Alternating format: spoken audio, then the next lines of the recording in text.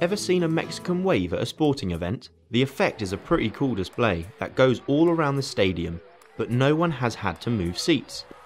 All waves can transfer energy from one place to another without transferring any matter. This is done by a series of disturbances or vibrations that carry the energy. Just like the people in their seats only moving up and down when it's their turn.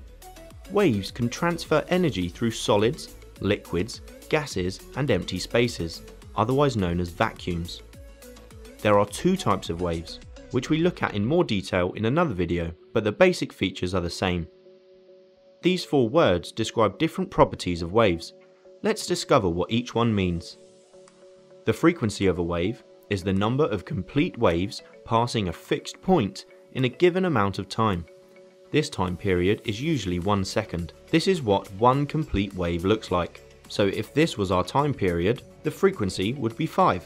Frequency is given the symbol f and is measured in units called hertz. Hertz measure how many complete cycles per second, so how many people in our Mexican wave stand up every second.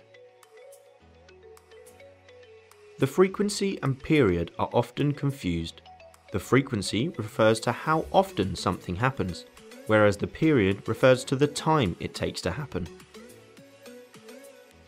The period of a wave is the time for one complete cycle, so the time taken for one person to stand up, wave, and sit down.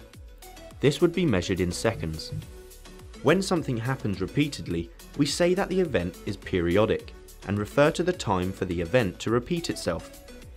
The period of the Earth to orbit the Sun is 365 days. The period of a day is 24 hours.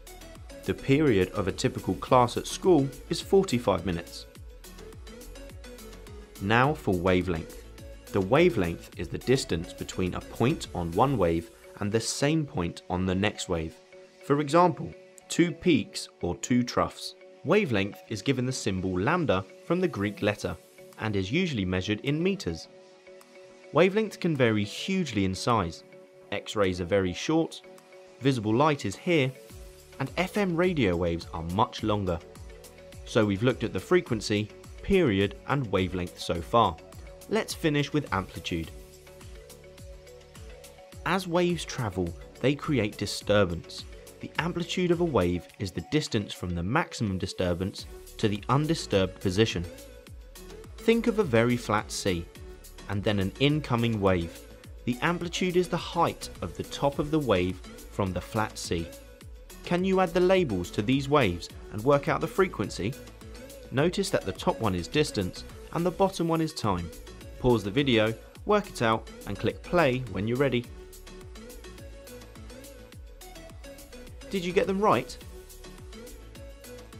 In another video, we'll be looking at wave speed equation and connecting wavelengths and frequencies.